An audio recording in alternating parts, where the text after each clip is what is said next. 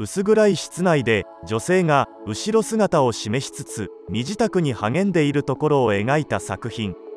17世紀オランダの芸術家ヘラルト・テルボルフが1654年頃に描いた白シュスのドレスをまとう女。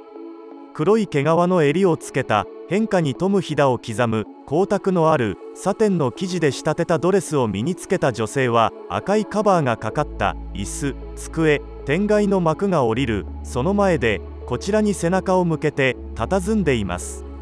テーブルの上に立てられた鏡は美しさを誇る女性の虚栄心を象徴的に表しいつかは失われる美貌に執着することの虚しさを示す教訓的なモチーフであるとも考えられます。そしてこの鏡に映される顔をこちらには見せない表現は示されない顔に興味を抱かせるための表現の工夫なのかもしれません。